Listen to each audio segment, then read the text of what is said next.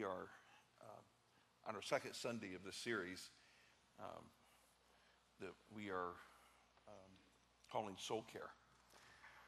And I don't know uh, if the soul is something that feels mysterious to you um, or not, but it, it, there's a little bit of a mystery to the soul um, of, of us as beings. But it's that part of us that will live forever.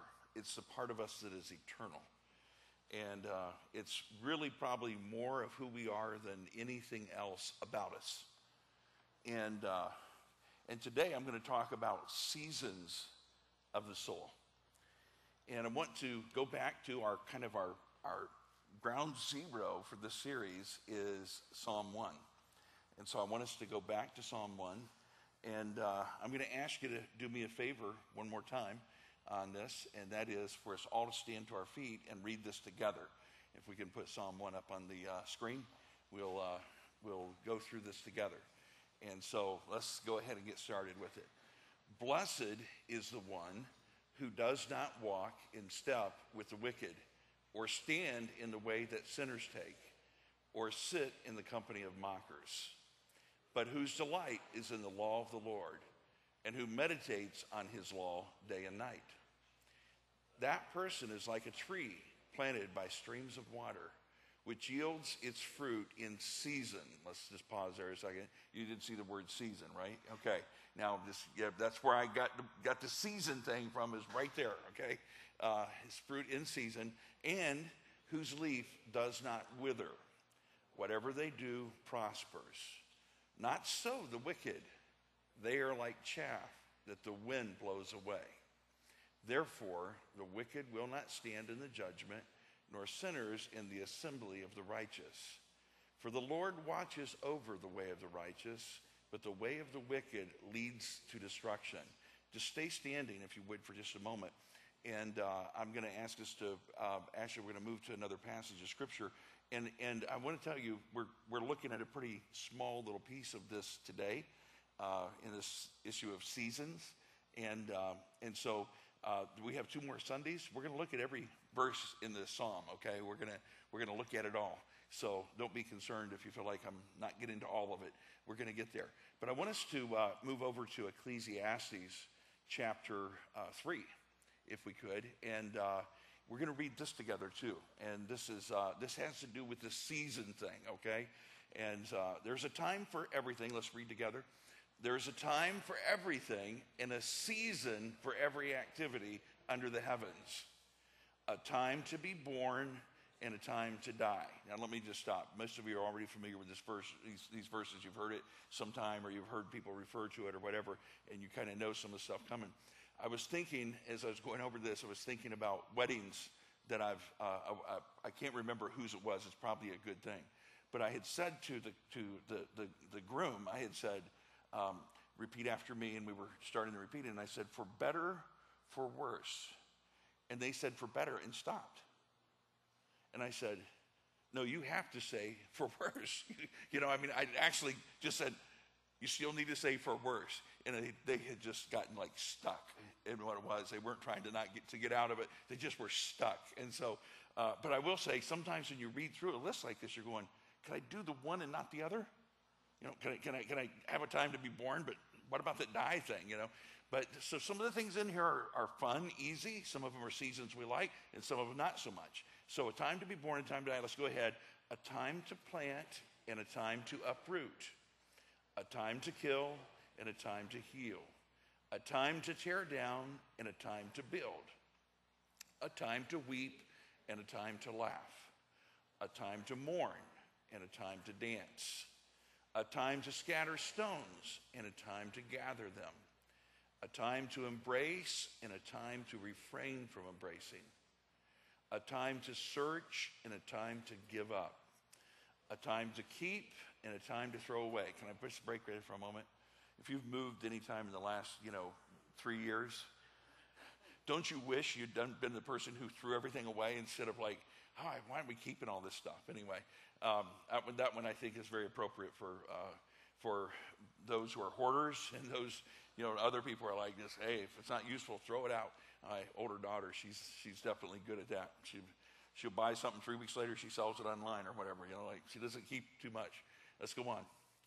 Um, a time to tear and a time to mend, a time to be silent and a time to speak, a time to love and a time to hate. I don't have time to get into that, but we'll talk about it some other day, okay? This hate thing. Uh, a time for war and a time for peace. What do workers gain from their toil? I have seen the burden God has laid on the human race. He has made everything beautiful in its time. He has also set eternity in the human heart. Yet no one can fathom what God has done from beginning to end. Let's pray. You can be seated. Lord Jesus, uh, we know that we, our life is filled with seasons, just in the same sense that our weather patterns are laid out in seasons. Uh, we experience that in our lives as well. And Lord, we have seasons of the soul that um, are seasons that we relish, we love, we enjoy. And there are some seasons of the soul that are hard, that are difficult, that are um, not so fun.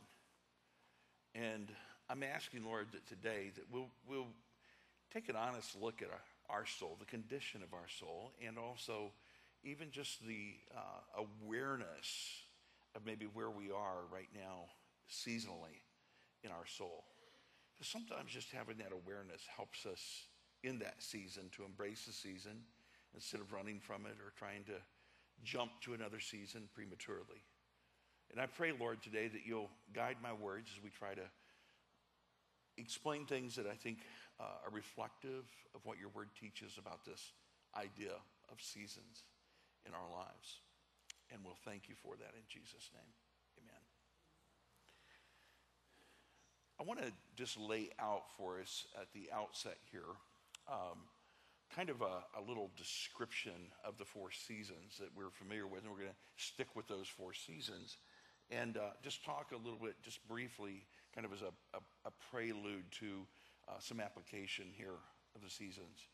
Um, and, and I want to in doing that, first of all, just look with me. If you you, uh, you don't have a sheet there in front of you, but they can maybe pull it up on uh, on uh, on the screen for you. Verse three, because verse three is in in Psalm one is kind of the heart of the season thing, and so it says this, and he shall be like a tree. And I'm reading from the uh, Amplified here this morning, which you see on the screen is is. Uh, is actually uh, NIV. I'm reading for the Amplified, so it expands it out just a little bit and he shall be like a tree firmly planted. And remember, the person that's being talked about in verses 1 and 2 is being compared to a tree.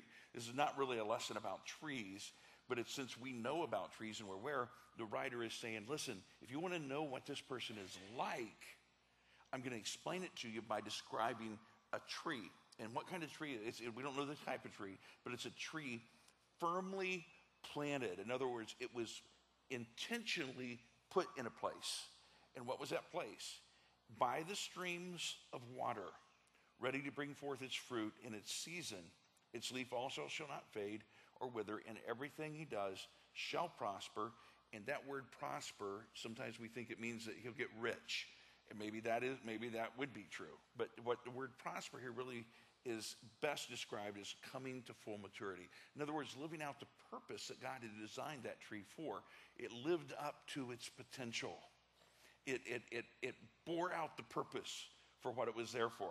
And, uh, and, and I, I believe if there's anything God wants for all of us is he has built into us the, the capability of being something and, and doing certain things and contributing in certain ways to life and to people and He's given us a unique capacity to be the person who will be that to some people, and no one else may be that. You know, if you're a father, uh, God's given you a unique role to fulfill that role as a father to your children. If you're a, a wife, God's given you that unique role to fulfill that with your spouse. And, uh, and so there are a lot of very specific purposes that we have in life that God said, You're the one. This is for you. And uh, this tree that is talked about here lived up to its full potential, came to full maturity. Have you ever been reminded before that you have a lot of maturing to do, a lot of prospering to do in your life, a lot of growing up to do? Um, I'm going to tell on myself here, and I think I maybe have told the story one other time, and I don't remember if it was Sunday morning or not, so I'm going to go ahead and tell you on Sunday morning. Um, I, I, would, I, I would like to say at this stage of my life that, you know, I've grown to a certain level of maturity, but there are things that happen along the way that sometimes reveal I've still got some growing up to do. And, uh, in fact, it happens probably a little more often than I would like. But this was a situation where uh, it was Christmas time, and uh, Vanjie's uh, sister and parents were here about two or three years ago. And uh, Vanjie and her sister were over here in Evans at the Kroger. Hunter and I were out running some errands, doing something, and uh, we happened to see them in the parking lot there. So we kind of pulled up behind where they were parked, and we were talking to them in, in the parking lot. I wasn't parked, I was in the, in the lane behind them. And a truck backed out facing me. And when the gentleman, he was a couple of car lengths out ahead of me, when he started coming my direction, he started making all kinds of motions to me with his hands. And uh, I thought he was trying to tell me, get out of his way. And that's what I thought he was trying to tell me. So, in my great maturity, I thought up something to say to him when he pulled up by me that would reveal just how wise I really am.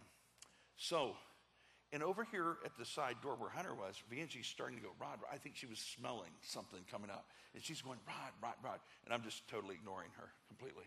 And so the guy pulls up there beside me, had his window down, I had my idea. And I, just as kindly as I knew how to say it, I said, Have you always wanted to be a traffic cop? Now, the smile on his face disappeared real quickly. And I can't remember everything he said, probably a good thing, but something about a smart something. And, uh, and then drove on. And this is, he pulls away. Vanjie says, Rod, there was a car about to back into you, and he was trying to tell you that you're about ready to be hit. You know how big I felt? I mean, about that big.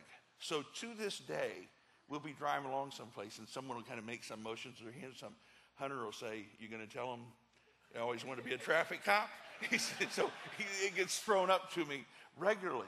So what I'm deeply aware of is how flawed I am, and just how easily I can get off track and not be what it is that God wants me to be in a given situation. So, so I, will tell you, if you, you know, if you're ever thinking, man, I'm just never going to get there, just say, well, at least at least I'm farther up the road than uh, Rod is, you know, and uh, and and so this maturity thing, this growing up, this being who we ought to be, is part of what makes that happen. Is this thing called seasons? Now I'm going to talk about winter first. Okay, let's just and, and you can if you want to write something down. I'm not. It's not really like an outline. Um, this is more of more of me just talking to you about these concepts. But if you do, you can take an insert from the bulletin that you don't need for something else and maybe jot on that. But winter is a time when things seem barren. I mean, in a sense, they are barren. But but you look at it and you go, well, that tree is barren. That tree, there's you know, it's just a, it's just a bunch of limbs and twigs and everything else, and there doesn't there, that, that, you can't see life. It's barren. And winter in the season of our soul is real.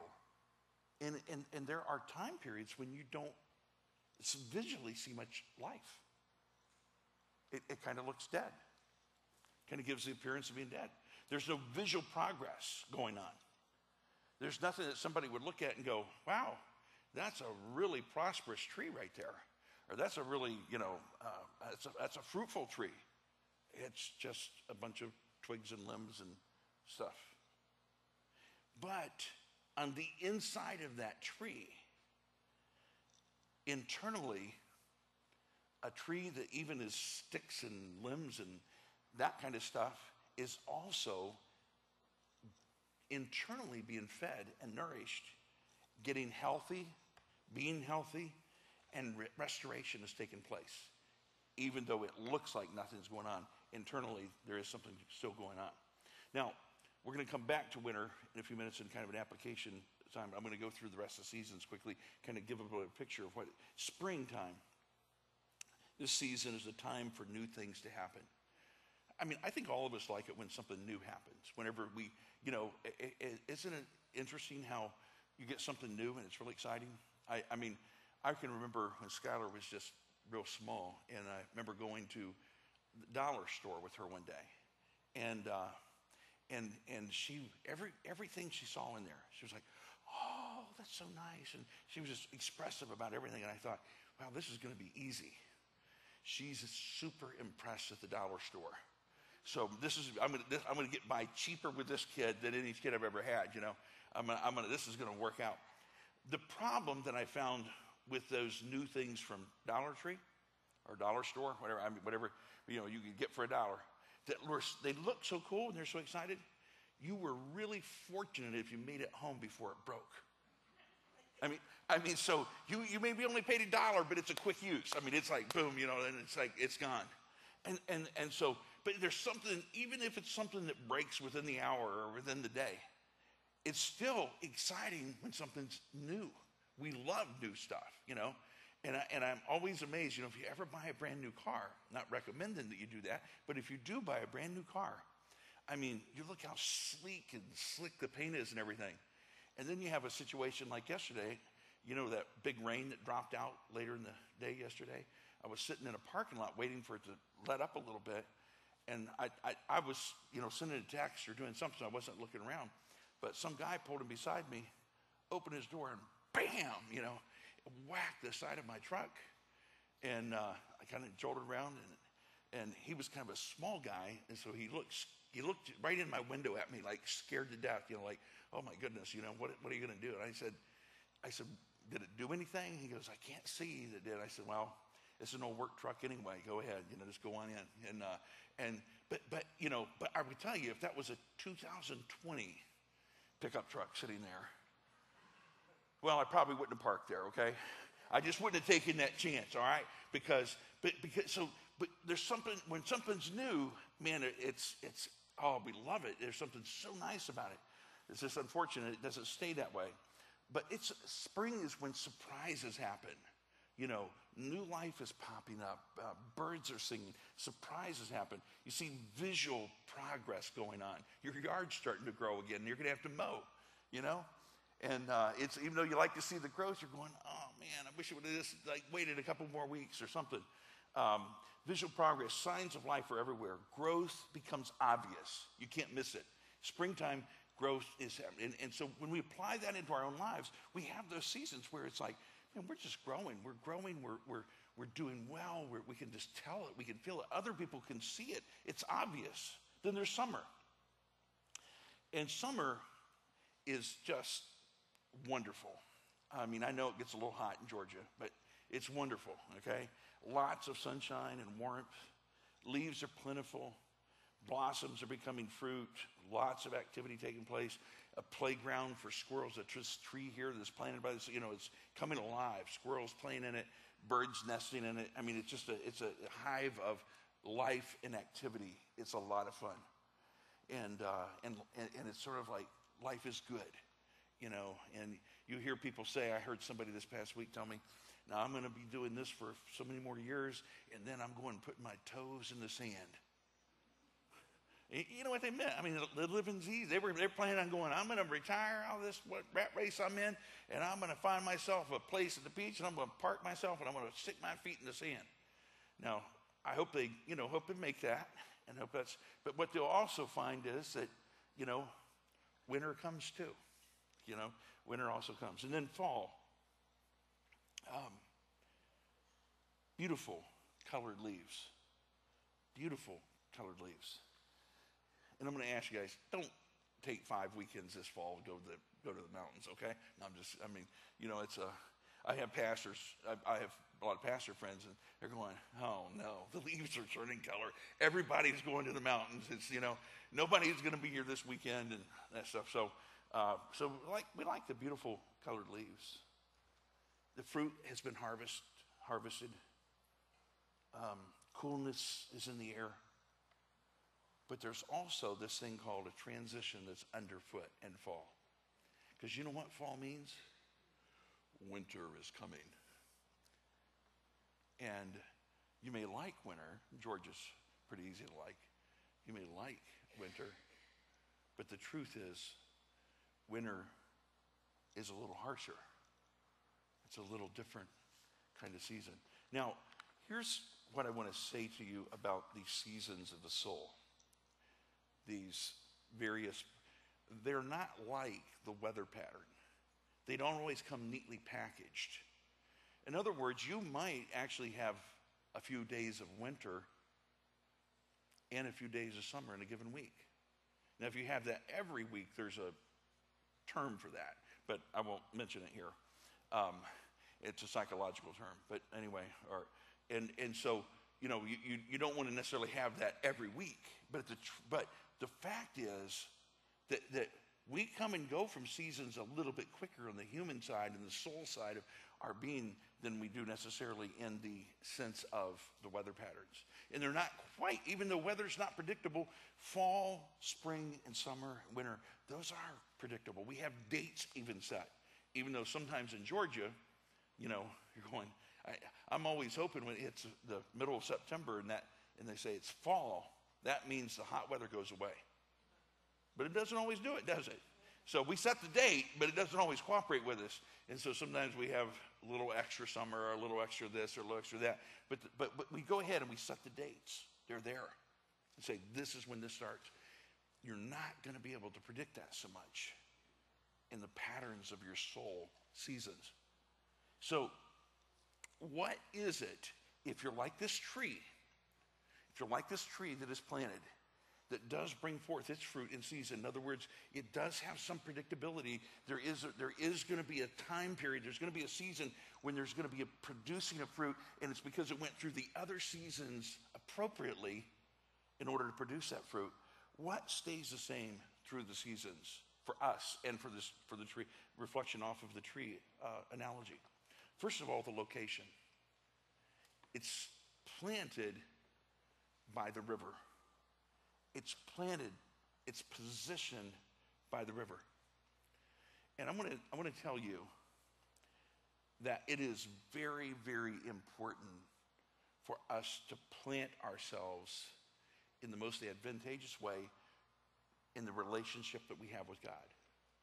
And, and because if you don't plant yourself in that relationship, you receive Christ as your Savior, you accept His forgiveness in your life, and what you do is you position yourselves. We talked about this internal growth thing last Sunday, and you can go back and get that if you want. Uh, to, if, you, if, if you need, you know, if you missed it or need more information, I'm not going to rehearse it again today. But the truth of the matter is, if you place yourself in that position, then you are continually getting the nutrients and the care that you need to develop to be strong through the seasons of life. So the location stays the same. The seasons change. The spring brings some, some bad weather and some storms. The winter brings some severity. Uh, the, the, the summer brings a time of plenty, and, and, and the, fall bring, the fall brings a time of harvest for it. But that tree stays right where it is. You said that sounds boring.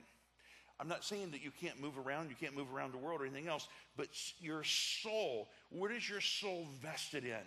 Where have you given, where have you bought into, say, this is where my soul rests? Where have I planted my soul and in my spiritual life? And it's in, in, in the best place, in the presence of God, in the practices that will keep me in that, in that. The second one is nutrition. Because it's planted there, that tree is going to keep getting water and soil, good water and good soil, all through all the seasons. So, what are you feeding on? What are you bringing into your mind? What are you bringing into your heart? What are you bringing into your mind? What are you nurturing your soul with? I can just promise you that if you live your whole world, your whole week in a Jerry Springer kind of world, and I just use him as an example because you, I think, you know, even if he's not, I don't know if he's still out there or not, but I mean, I'm sure he's alive, but I'm saying I don't know if he's still doing what he was doing. But, but if you, if, if, if you immerse yourself in that kind of world, that kind of thinking, that kind of just, just kind of what I call, uh, it's not even really even junk food, it's just junk, you know, that kind of junk in your life You don't expect, don't expect yourself to be nourished. Don't expect whenever winter comes that you're going to be strong and stable. Don't expect whenever even the harvest comes that you're going to have any good harvest. It's, it's, you're going to live kind of a fruitless life. You're going to be like the three, chap- three verses in this chapter, like the chaff which the wind drives away, and ultimately a time of destruction. What else should stay the same through the seasons? Your location, your nutrition, your identity. What's planted by the river water? A tree. A tree. I know you're not a tree, but are you a child of God? Do you know that you're a child of God? Do you know that you belong to Him? That you're anchored into the reality of your salvation and the, and, and the gospel that, that Jesus came and so clearly gave to us? Are you anchored in your identity as a believer, as one who follows Jesus, a follower of Jesus? Are you anchored in that? Do you know who you are? This tree, you know, if it was an apple tree, it's not producing acorns. If it was an acorn tree, it's not producing apples. That tree was true to itself, true to who its identity was. What is your identity? Who is your identity in? Is your identity just wrapped up in yourself? Is your identity wrapped up in something else or some, you know, some well-known figure or politics or something else? Or is your is your identity wrapped up in who Jesus is? And your identity is a child of God. The fourth one is uh, stays the same through the seasons is your ability. Your ability. The tree didn't have leaves during the winter, has little buds and stuff during the spring, has great leaves during the summer, then they all fall off in the fall. Looked very different, looks very different. But the tree, the tree's ability is to stand strong, to be stable. Stable in the winter when the ice covers its branches, when the snow lands on it. Strong in the spring when the buds start coming. Strong in the summer whenever the leaves and the fruit start developing. Strong in the fall whenever it starts shutting off everything. Strong. It tree, its roots were deep in the ground. Its trunk was stable. Its branches were connected to that trunk, made it strong.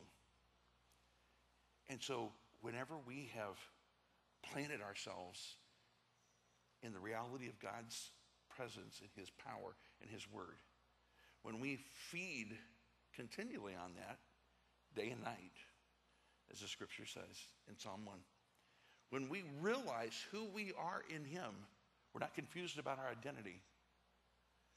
We are strong then through the winters. It's easier to be strong in the summer because we feel good.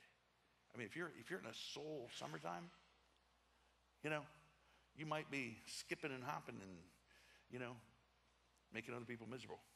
But uh, you're just, you know, it's it's good. Now, it's interesting. Tom, you mentioned uh, the breakfast yesterday, and I'm going to mention it too, because uh, I, I, will have, I will have to tell you, I, am actually glad that most of you didn't, you know, several of you didn't come, because it. Did, I mean, I, I, mean, I wish you'd have been there, but I will tell you, it, this I wouldn't trade the time we. I, feel like I, I feel like Tom. I feel like I was there with the sages. Okay, I know my hair is gray, so that means I must be a sage too. But um, I felt like I was there with the sages as well. This was an awesome time, and awesome sharing and conversation. But here was we had a theme. Charlie gave us a theme. Walk through it well. You know, what is what kind of cracked me up, Charlie? I got back to my notes later on. I, I, did, I didn't strike me during that time, but I got back to my notes later on, and the phrase that I used for this next set right here was this how to walk well through winter in these different seasons. So I think God wants us to hear something here at West Town about walking through things well. You're going through something?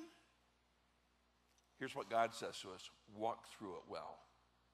You're going through a hard time, you're going through a difficult time, you're going through a good time. What, you know, you can, you know, good times can also cause you to be careless. Walk through it well. So I really grabbed my attention when I'm going, that is in my notes. I can't believe it. And, uh, and, and so here's what we're going to talk about how to walk well through winter. This is kind of wrap it into the application here of what these seasons are. First of all, winter can be harsh. It's a time when people may face depression, even some despondency in their lives. But you remember who you are, you remember where you are, you remember what you're taking in, and you be strong. And here's what I want you also to remember remember that winter is a season, it's temporary.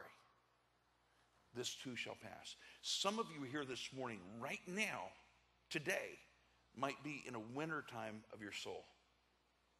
You might be dealing with some depression. You might be dealing with something, an oppression. You might be dealing with a difficult, some difficulty that seems to be weighing in on you, pressing in on you. What I want you to remember is this too shall pass. This too shall pass. Stand strong and stable right where you are. Also, recognize this some people around you are in summer. If you're in winter and you're feeling the weight of the world on you, you're feeling the harshness of a situation, you're feeling the difficulty, and then Mr. or Miss Summer comes along. Hey, how you doing? You know, just, they're just all, you know, like their feet are in the sand and they're running in the beach and they're going like, what's wrong with you? I mean, don't you have faith? I mean, oh, Jesus has it all. He's got it all. Where you know, in their soul, they're just you know, everything's just how they want it to be. It's a wonderful, wonderful day at the beach. Hey, you know what? Don't be offended because you're going to get a summer too. Okay? You're going to have a summer of the soul. Don't be offended. They don't mean wrong. They're just they just don't understand you're in winter. You're in winter. At this point, you're, you can't, you're not in a celebration mode. You're in a very inward place. You know, and winter is normal. You know, some people like to think that if you ever have a bad day, you must not be a good Christian. I dare you to read biographies or autobiographies of, of these great people over time who have lived and followed Christ. And I'm going to tell you, there isn't a great person, someone who's done great things for God, that has not gone through winters of the soul. Every one of them have. Now, some of it, you know, some people's personalities are more geared toward winter, and some people's personalities are more geared, but everybody has some winters of the soul. You know, Mother Teresa who's just, you know, you have to look at her and go, what have I done in life? You know, what did I do? What have I done? I've done nothing in comparison to what she, you know, she accomplished so much good. And there was a season in her life when she never heard God's voice. And I don't mean audibly. I'm just meaning in her own spirit, in that soul. She was in a winter of the soul, and it lasted a good long time for her. Hard, hard time. But let me tell you, winter is normal. Winter is normal. We, we like for it to end, but it is normal. I would say use winter to work on your soul, to read, to reflect, to pray, to really allow God's Spirit to do something internally. May not be visible to anybody else, but allow Him to do something internally. Some of the hardest things that I've been through in my life, and I, I can promise you, you never find me on any given day going, hey, God, you know that hard thing I went through? Could you just take me through another one like that sometime soon? I don't, I never volunteer for hard, for, for winter, for hard times. I never volunteer for it. But somehow, somehow, I still get picked for it sometimes. And, and so the winter comes and you go through, and, and, and, but one of the things that I have found is I generally come out on the other side of winter knowing something about God I would never have known if I hadn't gone through that winter. And you say, well, Rod, does that make you want more winters? No, it doesn't. I, I like to know more about God, but I, I, I want him to reveal himself to me in other ways. You know, can we do a summertime getting better acquainted with God? You know, the winters are hard; they're tough. How to walk well through spring? It's a little easier because newness. Oh, I have a new vision. I have a new plan. I have a new hope. I've got new energy. Growth is visual. Just look at what all good is going on in my life right now. It's awesome. Excitement and joy are normal in spring. I don't think I have to focus too much on how to walk well through that, except to remember to sometimes use the throttle, you know, in that sense of just, just you know, have all that newness, that stuff, but then channel it in a way that's, that's actually productive. How to walk well through summer. You know, this one right here, I will tell you, if you're in summer, is fun. It's fun. It's just fun to be in.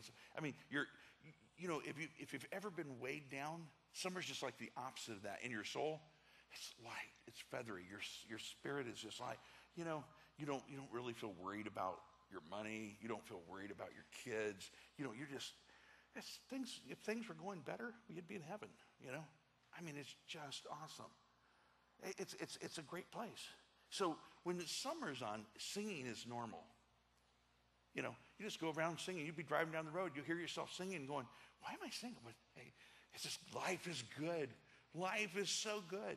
And and the, here's the thing I need to tell you about summer.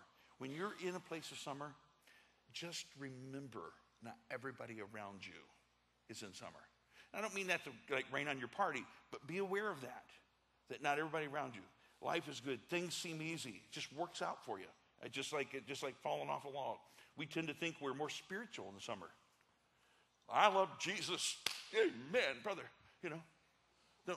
And if you look at them, then something's wrong with you. you know, I'm, I'm, I'm so spiritual because I just feel so close to God.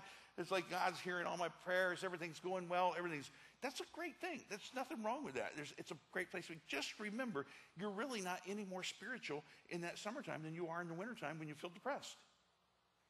Isn't it funny how we allow our emotions or the seasons to define whether we're spiritual or not? See, we're gonna, everyone is gonna experience winter, everyone's gonna experience spring and summer and fall. The question is, where are you standing?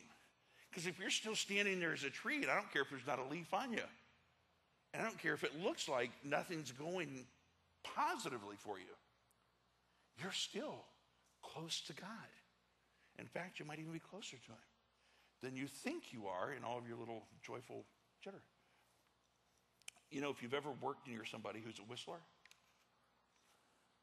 I don't know whether that means they're in summer or not, because sometimes people just whistle because they whistle and that's they, they think they're good at it, or they don't even they're subconscious, they don't know. But you know, people who like that can get on your nerves. So remember, if you're in one of these jubilant summer times, God is good all the time. Oh, all the time, God is good. You know, you just up to everybody. My brother, uh, Randy, who's had the heart transplant, he's pastors in North Charlotte. He, uh, he called me the other day. He goes, I know you would appreciate this or whatever. And uh, he said he, he'd stopped by McDonald's. I guess he's trying to get another heart attack or something. I don't know why he's going to McDonald's. But anyway, he stopped by McDonald's one morning. He was coming out, and he said there were these two guys walking toward him. And when behind each other, he said, the first one said, Well, praise the Lord, brother. Well, if you know Randy and you guys that were here, you know he's a bit of a cut up and a clown anyway. And so he's not ever going to be outdone. And so know, well, this guy said, Well, praise the Lord. And he went, Well, hallelujah, brother. Right back at him. And then the guy behind him said something else. And I was like, and he goes, I just knew if you could be here and watch this. He said, I knew you would be going, Randy, what are you doing out here? You know, having this. But but he he wasn't going to just let them he wasn't going to let their summer not get summered back, you know, or whatever. And so it was just, just one of those moments. But there are people that think sometimes if you're not ready, if you happen to be walking outside walking, they said, Well, hallelujah, brother, praise the Lord, and you just looked at them like they'd lost their marbles, they'd probably go, Man, that person doesn't seem to know God very much. It isn't about that. It's just a lot of that's our emotions or how we feel or we are.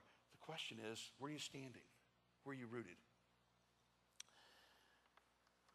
When summertime, we feel up, we feel happy, the sun's shining. Now, how to walk well through fall. It's a time of transition. It's a time when things are beginning to change. Sometimes we feel a great sense of satisfaction in fall. Maybe we had a good spring, a good summer. We feel like that worked out well for us.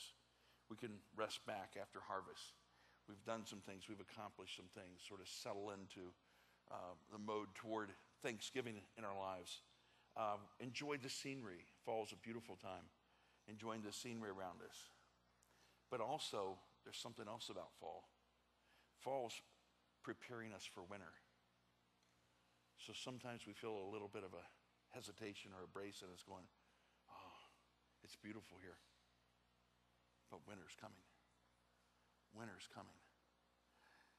So we kind of have that pushback a little bit about where it's coming next, a little tension, a little difficulty there.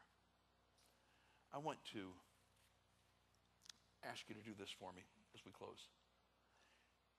Identify within yourself what season you're in right now. Um, today, it might change later in the week, but today, are you in winter? If you are, here's what I want to tell you.